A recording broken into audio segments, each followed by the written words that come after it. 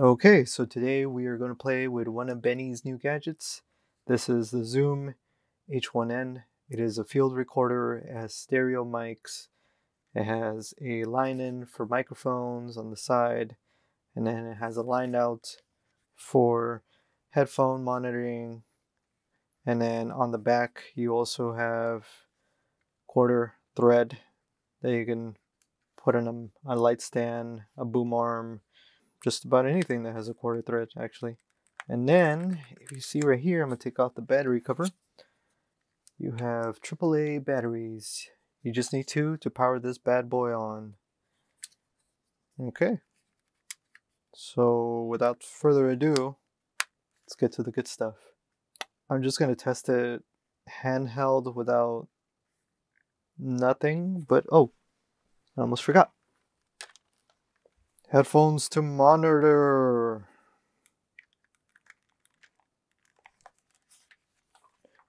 The other thing I didn't show you guys is that it has a little dial right there, as you can see. And that's to set your gain. That way you can up your sound or lower it. Okay, so I'm going to monitor in real time. Right now, let's record. Uh, hang on. Before I go any further, I am recording on my Tascam DR10L, but I will show you also when we start the Zoom H1 what the difference is while we're doing this test.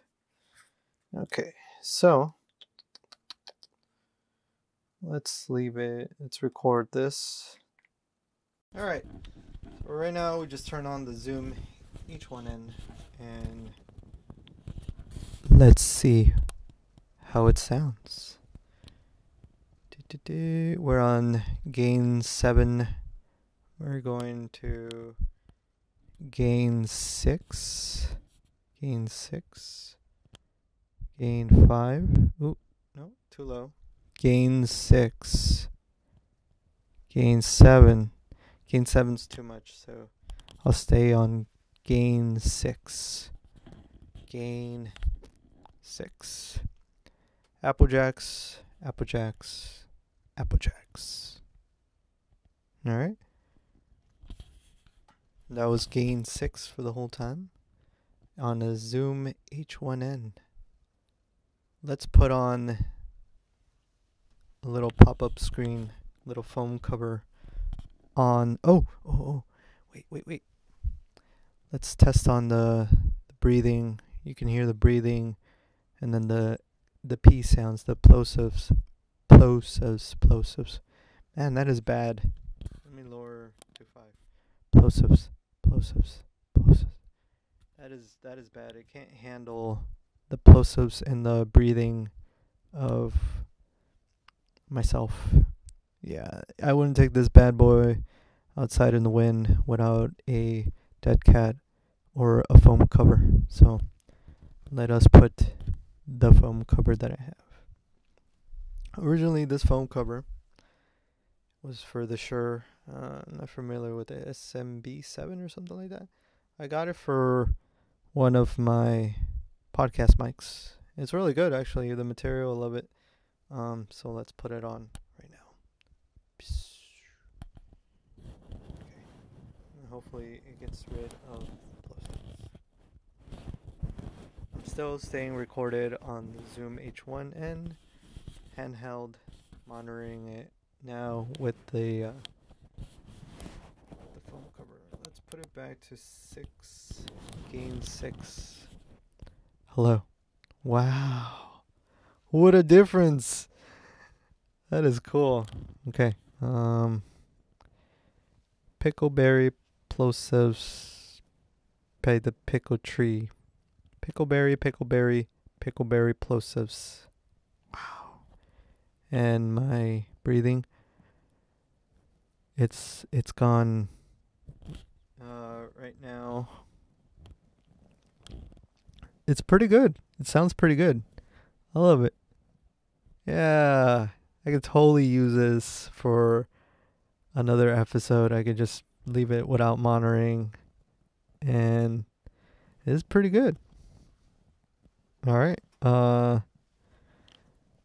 let's see what the difference. If there's any differences in hand holding the recorder versus putting it on, uh, let's say a little tripod mount or a stand. Unfortunately, I don't have a. Hmm. Maybe we could set it up with one of my boom arms, but I don't know. I don't have one at the moment right now, unfortunately. So we're just gonna leave it on a stand. Right now, though, before we get too far ahead, I'm gonna tell you the settings if you're interested on the Zoom H1N. Okay. I have it on 80 hertz for the rumbles and the lower frequencies. I don't set it anywhere above 80 hertz unless I'm outside because then it makes your your voice a little uh, what is that word? Whiny or is it tiny or something like that. But yeah it's on 80 hertz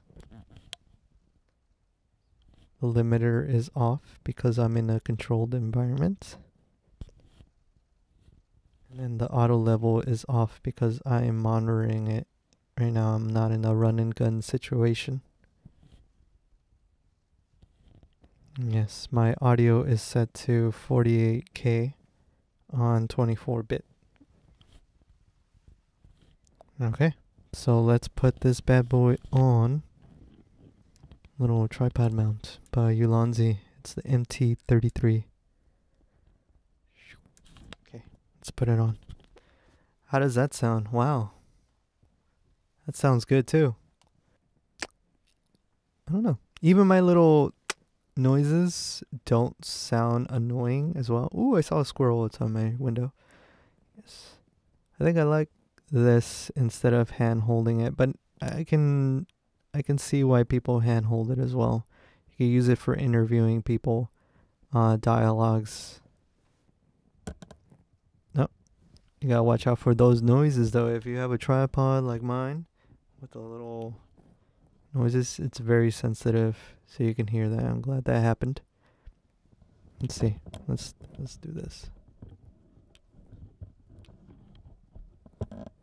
Yeah, it's only when you squeeze the legs, the flexible tripod, that you can hear those noises. Cool, cool, cool.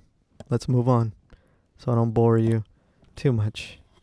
But I'm glad you're staying here if you're interested in audio. Let's put it on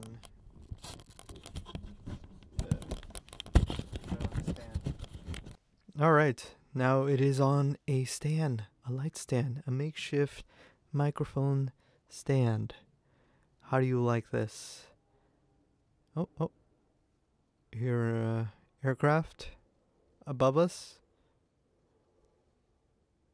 Pretty decent on the sound, actually. I'm betting if we were outside, it could probably, it would be, uh, more prominent on the sound. And you could probably hear it a lot more. But since we are in a soundproof makeshift room, we can't hear it as much. So, let's test out the noises since I am monitoring. Oh, hear that? That is the wire for the mic, so you can hear that. If I move my stand, you can hear that noise as well. So you got to be very careful when, especially with all devices that are very sensitive to sound. I'm actually very, I'm enjoying this very much. Let me stay quiet for a little bit so you guys can also hear the atmosphere sound of where we're at.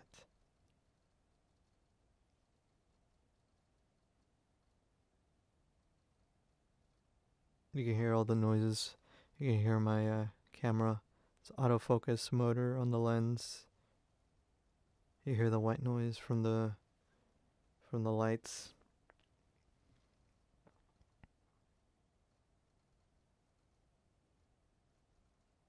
And you can hear the outside noises from outside as well. Let me back up a little. Let's see. So yeah, you gotta be. Sounds pretty good, but you gotta be at least. What is it? Um. Let's say like four to six inches away from this mic in order for it to be uh, that way it's got to catch onto your voice and it sounds bassy and it sounds warm it's pretty good i like it yeah yeah um, all right so that was my test and i hope that you enjoyed sticking around with me i know it's uh it's not that exciting of a gadget, but I love sound and audio, I think, is very key to doing this type of content. Especially if I rather have a video that has good sound um, better than what the video quality is. I rather hear the sound because the sound to me makes the video. Everything that you hear, we're humans, we have ears. It's a very uh, key part of who we are. So I'm glad you stuck around again to uh, Benny's Benny's little playhouse of gadgets here. Ooh, I like hearing my. This is very addicting, by the way. I like hearing my voice on this thing. Um, if I would, I I would have it recording me instead. So I, I next time for sure, maybe I'll have it just like this on a stand and then I'll just talk and whatever. There's another aircraft. I'm going to end this video. I I'm really glad you stuck around. I will put as a loud aircraft.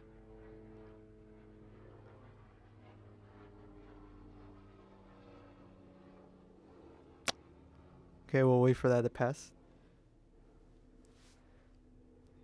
Sing. Sing it to me.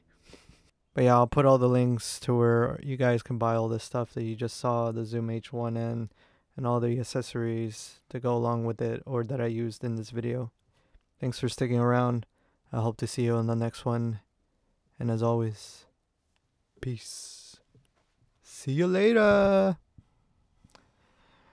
On the morning night sky. Oh, peace.